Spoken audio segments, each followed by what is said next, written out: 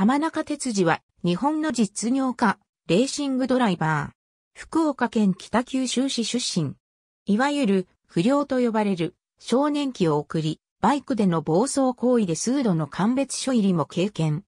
その後、モータースポーツと出会いレーサーを目指し下位カテゴリーに参戦する一方で、レース資金を稼ぎ出すために中古車販売店を経営。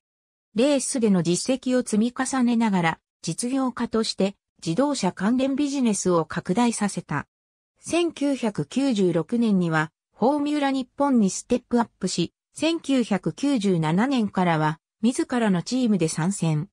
2001年をもってフォーミュラ日本から撤退し、翌2002年より全日本 GT 選手権に自チームで参戦している。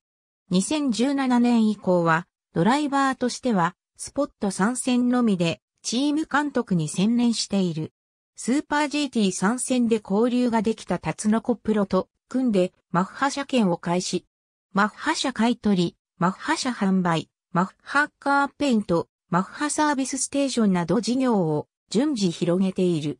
株式会社マッハ、株式会社システム45、株式会社ブレイン社の代表取締役を務めている。